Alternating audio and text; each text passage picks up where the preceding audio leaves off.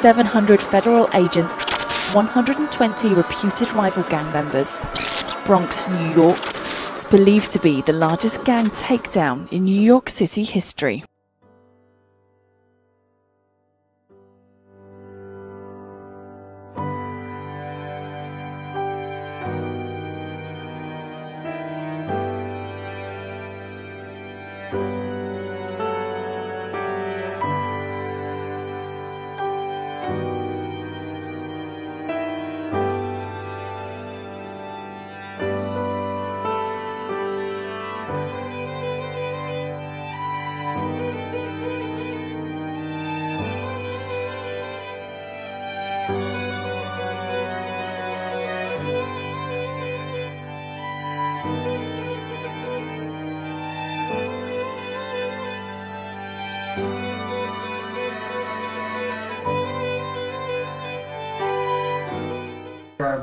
Case of a criminal matter that carries very serious consequences uh, if you're convicted, uh, I want to reiterate to you, even though you've filled out this form, that representing yourself is potentially extremely disadvantageous. Uh, In, in society, in our daily lives, people have various rights. We all have rights related to something, right? But exercising those rights is not always a good idea under the particular circumstances. So, uh, if, if a, uh, if a person, uh, if, if I have a friend or a neighbor and I lend them some money and then they don't pay me back type scenario, uh, you have a right to take them to court and sue them. But if the person is your neighbor, maybe you won't do that for other reasons. When it comes to the criminal law, when somebody is charged with a crime, again, you do have a right to represent yourself, assuming you have a certain basic level of competence and understand clearly the disadvantages for doing that. But a lot of times people feel that they can do a better job doing it themselves when in fact they might actually be setting themselves up to grievously hamper their ability to have a, uh, an effective or successful defense in the case. When you have an attorney representing you, you have someone who understands all of the nuances of appearing in court, bringing appropriate motions at appropriate times, someone who can properly draft and file any written motions that need to be filed. And when you are representing yourself, you're going to be held to the same standards that apply with regard to all of these things, even though you won't have a lawyer to help you. And in fact, if you remain in custody, you're going to be in a situation where you have limited access to the materials uh, representing yourself. A self-represented litigant is uh, given what's, what are called pro per privileges at the county jail if you remain in custody. But those privileges don't give you all the tools that would be essential for you to succeed in doing this. Let me finish one other thing.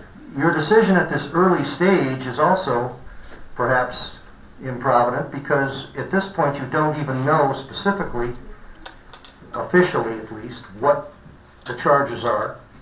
And uh, if you don't know the charges, then of course you can't understand all of your possible defenses.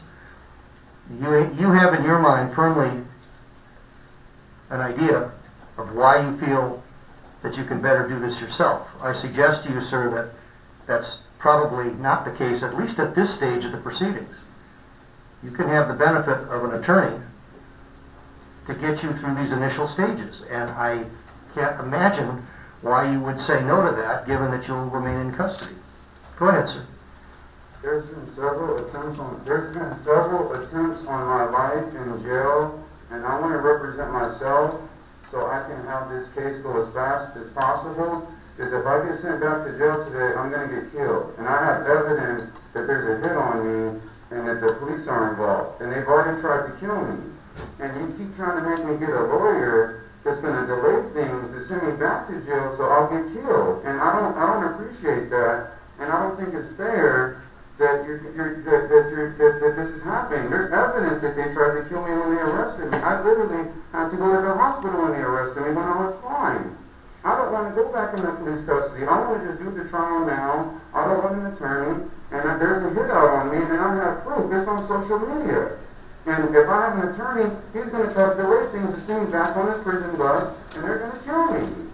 And Well, sir, you, you have to understand something. Your attorney isn't uh, the person that controls whether you stay in custody or not. No, I understand that, but he can delay things and, and make me go back to jail so he can come up with more of a case, and they're gonna kill me in transport. Well, all right, sir. Are you, um,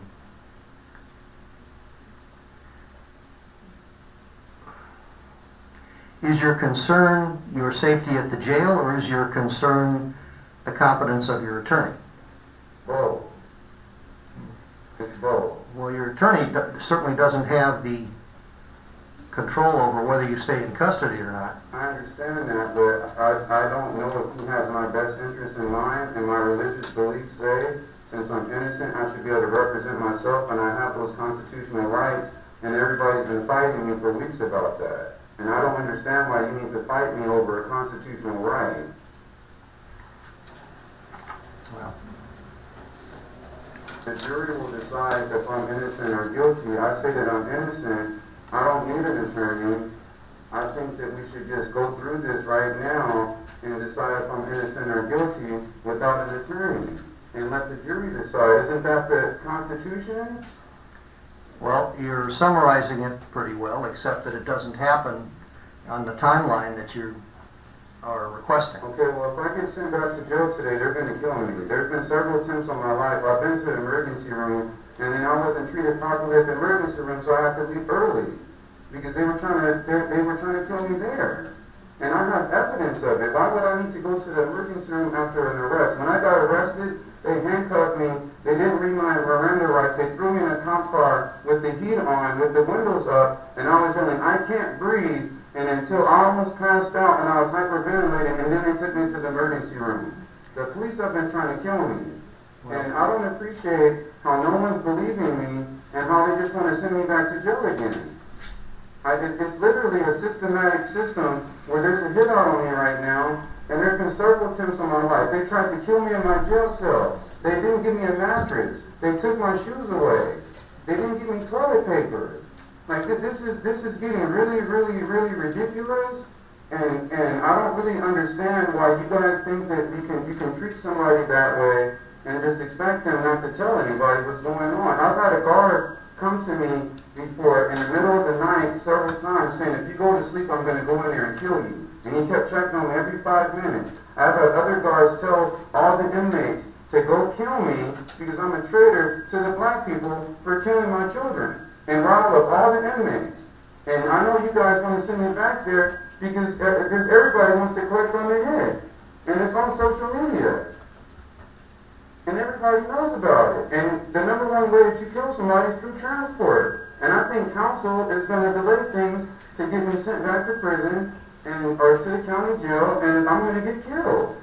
So I want the jury to decide now on the evidence that they have, and let's get things rolling. Because the longer things go, the more there's going to be more attempts on my life.